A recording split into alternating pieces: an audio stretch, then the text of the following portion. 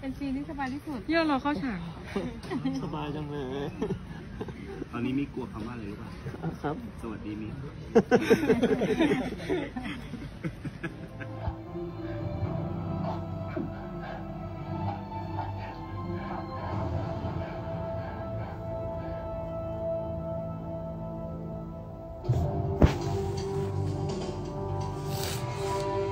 แรงอาพาธเหรอ เสียใจอาพาธตายแล้ว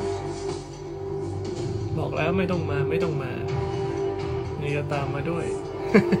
ไม่ตีตกนะ